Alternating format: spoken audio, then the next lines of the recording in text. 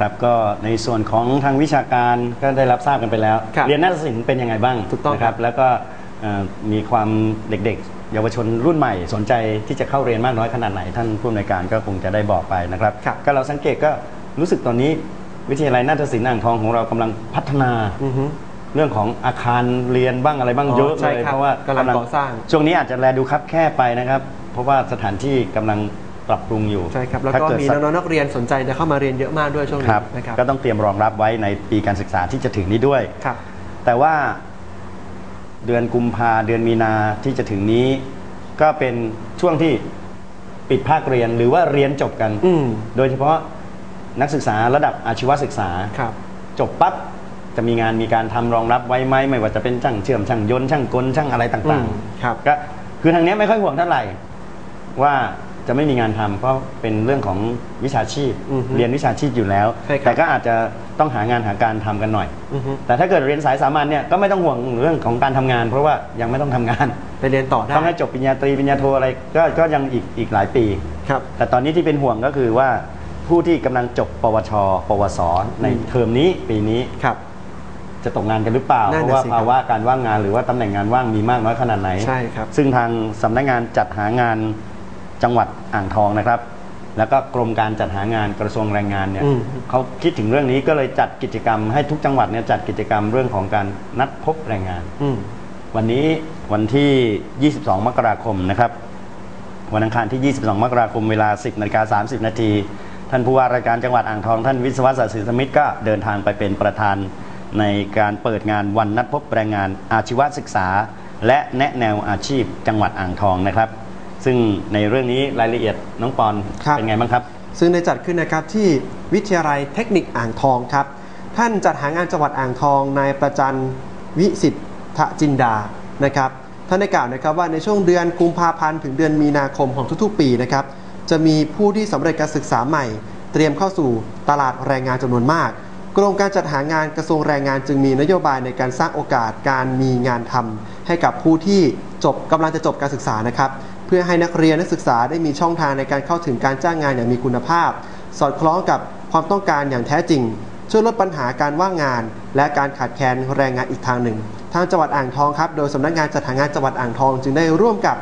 สถาบันอาชีวศึกษาของจังหวัดอ่างทอง ได้มีการกำหนดจัดงานวันนัดพบแรงงานอาชีวศึกษา และแนะแนวอาชีพจังหวัดอ่างทองขึ้นในครั้งนี้ โดยมีวัตถุประสงค์เพื่อเป็นการส่งเสริม การที่จะให้นักเรียนนักศึกษานั้น ที่กำลังจะจบการศึกษา ได้เตรียมเข้าสู่ตลาดแรงงาน รวมทั้งประชาชนนะครับพี่ติ๋วครับที่คตรับอนนี้กำลังว่างงาน ก็จะได้มีโอกาสมาสมัครงานกับนายจ้างสถานประกอบการต่างๆ ตามความรู้ความสามารถของตนเอง แล้วก็รับทราบความรู้ข่าวสารด้านของตลาดแรงงานในปัจจุบันด้วยนะครับ ว่าเป็นอย่างไรบ้างครับในส่วนของกิจกรรมภายในงานนะครับ ก็อย่างที่เห็นครับ มีการรับสมัครงาน มีการสัมภาษณ์กันโดยตรงจากเอ่อผู้ประกอบการผู้ประกอบการนะครับครับก็มีในส่วนของผู้ประกอบการเนี่ย ก็จะมีทั้งที่มารับสมัครด้วยตนเอง ครับก็มีประมาณ 30 กว่าแห่งนะครับ อือฮึ ก็ตำแหน่งงานว่างก็ประมาณ 190ตำแหน่ง ครับ แล้วก็ตำแหน่งงานว่างก็หลายร้อยอัตราทีเดียวนะครับอืมพันกว่าอัตรา ครับแล้วก็ในส่วนมีส่วนหนึ่งที่นายจ้างหรือผู้ประกอบการเนี่ยไม่ได้มาเอง แต่ให้ทางสำนักงานจัดหางานเป็นอืมผู้รับสมัครให้แทนนะคครัรับ บ อันนี้ก็อีก 51 แห่ง อือฮึ แล้วก็จำนวน อัตราตำแหน่งก็ 400 กว่าตำแหน่งนะครับ ก็รวมแล้วในวันนี้ตำแหน่งงานว่างก็มีถึง 430 ตำแหน่งนะครับครับ4,113 อัตราอือฮึนี่คือที่ว่างที่ต้องการรับสมัครนะครับ ในปัจจุบันนี้เลยครับ ในวันนี้ณวันนี้ที่ครับที่เปิดรับที่วิทยาลัยเทคนิคอ่างทองเนี่ยนะครับครับ ก็สังเกตกันว่าตำแหน่งที่นายจ้างต้องการมากที่สุด 5 ตำแหน่งที่ต้องการที่ขาดแรงงานอยู่นะคครัรับบก็เป็นเรื่องของพนักงานฝ่ายผลิตอืมนะก็คือฝ่ายผลิตต่างๆไม่ครัว่าบจะเป็นเรื่องของแล้วแต่ว่าโรงงานไหนหรือว่าสถานประกอบการใด ก็ครับส่วนใหญ่เป็นเรื่องของการผลิตนะครับ ครับพนักงานฝ่ายผลิต แล้วก็ช่างเทคนิคอืม อันนี้ต้องการมากนะครับ พนักงานขายหรือพนักงานบริการ อือฮึ รวมถึงเจ้าหน้าที่สำนักงาน ครับแล้วก็พนักงานทั่วไปด้วยครับนะครับ ก็เป็น 5 อันดับที่ ทุกๆ บริษัทก็ส่วนใหญ่ก็จะขาดอยู่ใน5 5ตำแหน่งนี้ใช่เป็นครับ ส่วนใหญ่นะครับ ส่วนตำแหน่งอื่นๆ ก็ยังมีอีกหลายตำแหน่งทีเดียวนะครับ อย่างที่บอกครับมีตำแหน่งงานว่างถึง 4,413 อัตราด้วยกัน 430ตำแหน่ง ทั้งหมดก็ 81 แห่ง ที่เขาเปิดนอกรับนอกจากในจังหวัดอ่างทอง จังหวัดอ่างทองก็มีอยู่4ี่ห้าสถานประกอบการ ที่เหลือก็เป็นอยุธยา รอบนอกของรจังหอวับดนอกางทรอบๆของจังหวัดอ่างทองนะครับ ก็มีทราบ ตำแหน่งงานว่าง หรือว่าผู้ที่ไปวันเนี้ย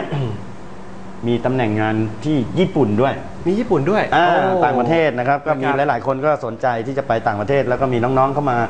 อ่าคุยให้ฟังว่าสอบไปทำงานต่างประเทศเนี่ยทำยังไงบ้าง ครับ ก็เป็นโอกาสดีของน้อง ๆ ที่ได้ ได้ไปร่วมงานในครั้งนี้ ทราบว่าในกิจกรรมในงานมีการแจกแท็บเล็ตด้วยเหรอพี่ก็ผู้ที่ไปร่วมงานลงทะเบียนก็มีการจับรางวัล โอ้โห ผู้ว่าก็แจก แท็บเล็ตไปก็ครับ ได้น้องสุภาพสตรีชื่ออะไรไม่รู้จำไม่ได้ นะฮะอิดแอบอิจฉาหรือนี่ครับนี่ฮะนี่นี่กำลังแท็บเล็ต ชูให้ดูเลยนะแท็บเล็ตแจกจริง ๆ แจกจริงๆก็แจกไปนะครับ ก็เป็นก็ เป็นเป็นเรื่องของกิจกรรมที่ทำให้อ่าบรรยากาศในการจัดหารับสมัครงานอ่าครับ ก็คือคักดีนะครับ เพราะฉะนั้น เพราะว่าถ้าคนที่หากว่าว่างงานเนี่ยไปกันหน้าจ้อยเนอะทำไมอะพี่ เอาก็ไม่หางานก็ไม่มีงานไม่มีการพอไปก็ต้องไปให้เขายิ้มกันหน่อยอ่าไม่นะครับ เลยให้ยิ้มให้สนุกสนานกันหน่อย ใช่ครับ ส่วนเด็กๆ น้องๆที่กำลังจะจบก็ยังยังไม่รู้หรอกว่าอ่าฮะจบไปแล้วจะมีงานมีการทำหรือเปล่าเพราะว่าตอนนี้มีหน้าที่เรียนใช่ครับ แต่จบไปแล้วก็อาจจะจ่อยๆเหมือนกันอ่าฮะเพราะว่าตำแหน่งงานว่างมีไม่เท่ากับผู้ที่ว่างงานอืนะครับมครับ เพราะฉะนั้นถ้าหากว่าใครสนใจนะครับที่จะสมัครงานหรือว่าที่จะไปติดต่อสอบถามนะครับว่าปัจจุบันนี้มีตำแหน่งงานว่างอะไรบ้าง ก็ที่สำนักงานจัดหางานจังหวัดอ่างทองครับ เพราะว่า ผมว่าพี่สักวันหนึ่งเราคงได้มีโอกาสไปจัดหางานกับเขาบ้างนะครัมาบเปิดรับสมัครแบบว่าน้องๆ นักข่าวอะไรเงี้ยอ่านนะมาอ่านข่าวพวกเราบ้างนะครับ แต่สิ่งที่สำคัญน้องปอนครับ แล้วก็ท่านผู้ชมครับครับ ถ้าไม่เลือกงานไม่ยากถ้าจนสู้งานไม่เลือกงาน ไม่ตกงานครับเนี่ยถูกต้องครับพี่ผมไม่เถียงอะโอเคครับ